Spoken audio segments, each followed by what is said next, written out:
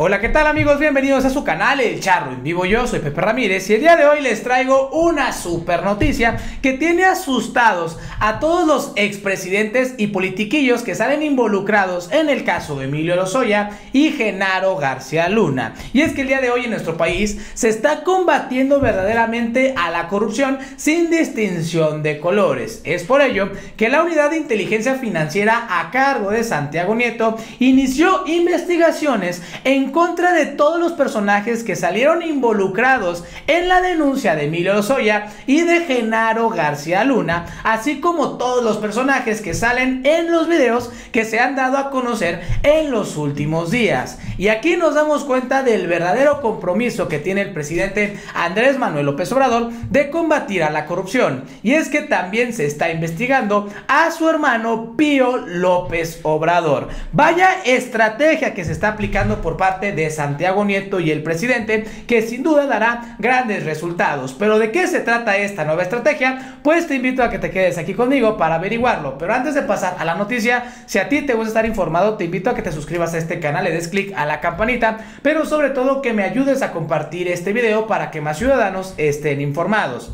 Y ahora sí, pasemos a la información. Y es que familia, el día de ayer el presidente Andrés Manuel López Obrador le mandó un fuerte mensaje a los expresidentes, a los IFIS, a los BOA, a los chayoteros y a estos corruptos que quieren extorsionar y doblegar a la cuarta transformación. Y es que en estos momentos se está combatiendo realmente a la corrupción tope hasta donde se tope, caiga quien caiga, sin distinción de colores o parentescos familiares, porque es más importante en estos momentos limpiar a México de este mal que por tanto tiempo ha dañado a nuestra nación. Por ello, el día de ayer se dio a conocer en la voz de Santiago Nieto, quien es el titular de la Unidad de Inteligencia Financiera, que se investigará a David León y al hermano del presidente Andrés Manuel López Obrador tras los video escándalos, pero también reveló una noticia que tiene asustados a todos estos personajes que están involucrados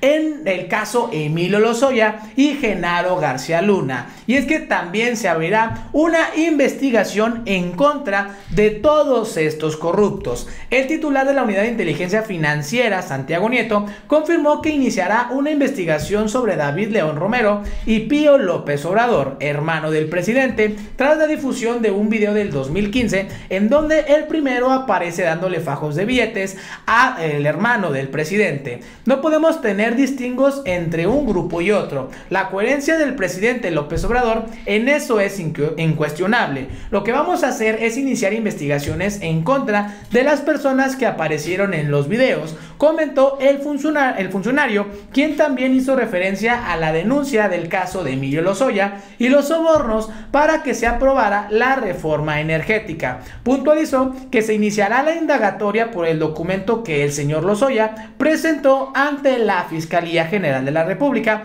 para poder acreditar o no la existencia de alguna irregularidad desde el ámbito de su competencia. Y aquí familia, pues prácticamente está sentenciando a todos estos personajes. Y es que recordemos que en la denuncia de Emilio Lozoya se menciona a Ricardo Anaya, a Felipe Calderón, a Carlos Salinas de Gortari, a Enrique Peña Nieto, a Luis Videgaray, a dos gobernadores del Partido Acción Nacional y todos aquellos que se vayan sumando con esta indagatoria que hará la Unidad de Inteligencia Financiera, que sin lugar a dudas encontrará un mar de podredumbre por, hecha por estos personajes. Y lo mejor es que se está buscando que todos estos bienes que serán eh, congelados por la unidad de inteligencia financiera se regresen al pueblo de México. Algo que el presidente Andrés Manuel López Obrador desde mucho tiempo está presionando. Y aquí tenemos familia las declaraciones que hizo Santiago Nieto.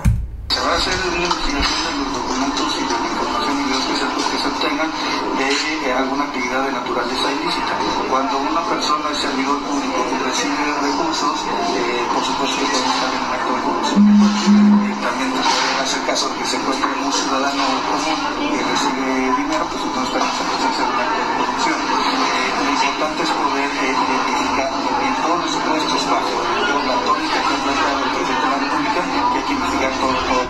habremos de estar. Pues ahí está familia, entonces también hay que estar preparados para todo lo que vaya a salir con estos corruptos que sin lugar a dudas, sin lugar a dudas será muchísima la información que estará recabando Santiago Nieto. Ya sea aquí en su canal El Charro en Vivo les habíamos platicado que todos estos expresidentes y los corruptazos le tienen más miedo a la unidad de inteligencia financiera que al mismísimo fiscal general de la República, Alejandro Gersmanero. Por ello, el presidente mandó a su hombre fuerte, que en estos momentos es Santiago Nieto, el zar al combate a la corrupción. Esto se suma a la estrategia que ya está también aplicando Santiago Nieto y es que se está buscando modificar la ley mexicana para que la unidad de inteligencia financiera pueda realizar actos con mayor rapidez en contra de todos estos corruptos. Pide Nieto ir tras políticos ligados al crimen organizado.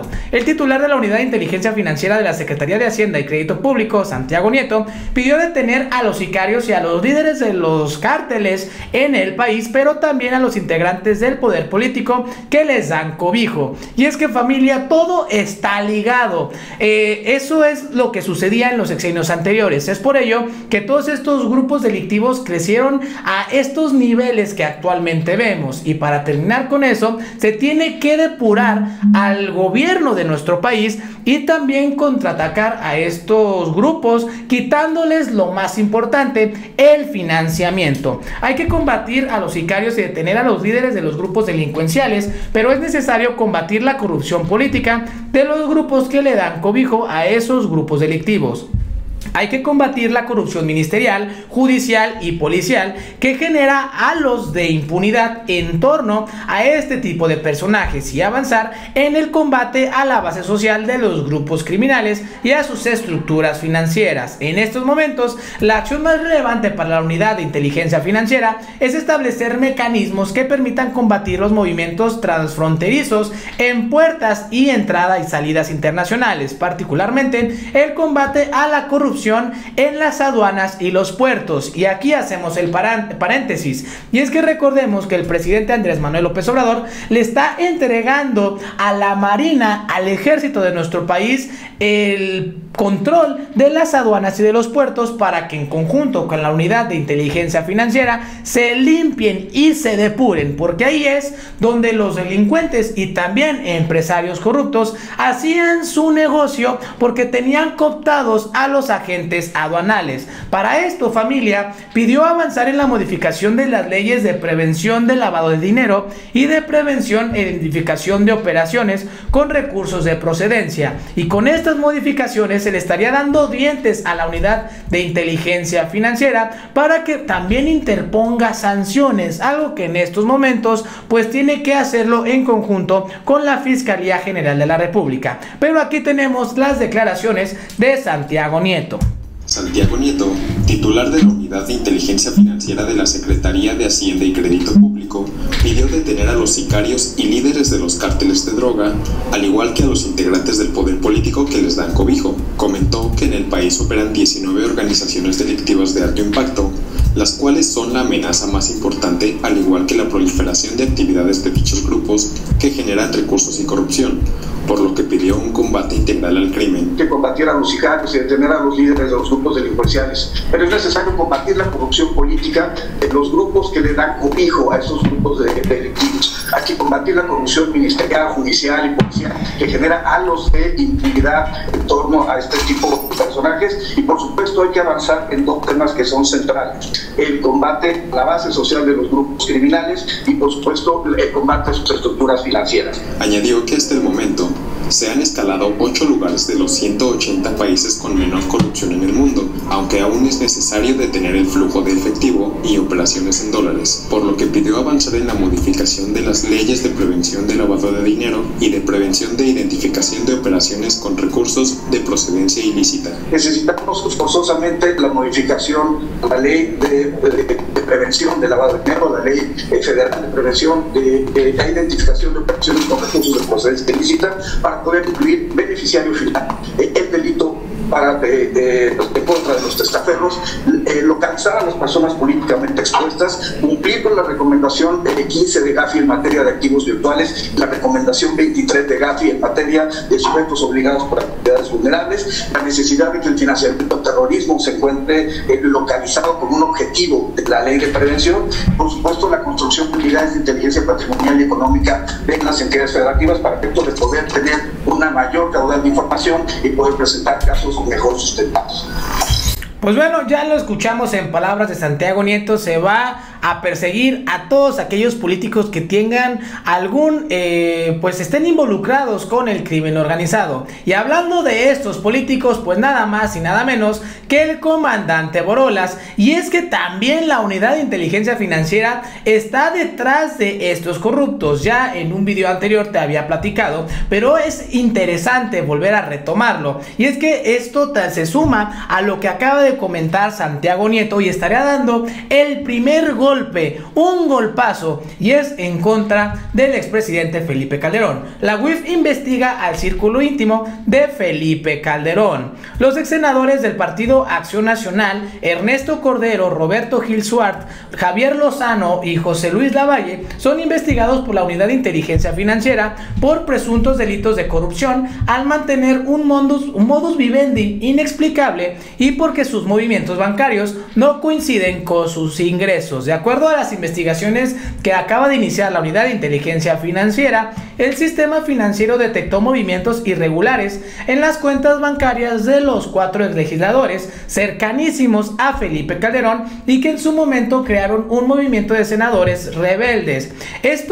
Eh, esta investigación familia no tiene nada que ver con el caso Odebrecht. Estos que está haciendo la unidad de inteligencia financiera es porque simplemente está siguiendo el pues el flujo que tienen estas cuentas bancarias de estos personajes y se detectó que es inexplicable. Y aquí tenemos la información. Aunque las indagatorias de la unidad de inteligencia financiera en el caso de los senadores rebeldes apenas comienza, entre los hallazgos más relevantes detectaron en el sistema financiero se encuentra el caso de Roberto Gil Suart, de quien se emitió una alerta por haber realizado movimientos por más de 31, 31 millones de pesos en un solo día familia. La fecha se reservó como parte del proceso. En el caso de Javier Lozano, los ingresos fiscales que reporta son sus ganancias como senador y asesor. La alerta para la unidad de inteligencia financiera se centra en la asesoría que brinda a una empresa que, de acuerdo al sistema financiero, tiene movimientos irregulares por más de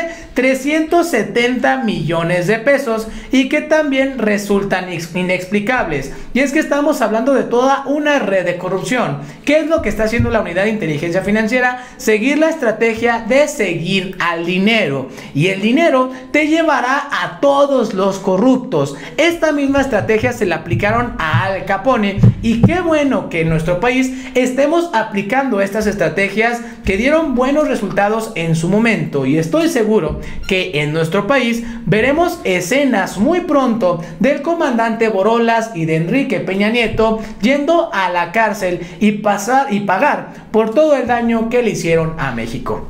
Y bueno, esto sería prácticamente todo de mi parte. Si a ti te gustó este video, te invito a que te suscribas a este canal y des click a la campanita. Yo soy Pepe Ramírez. Hasta la próxima.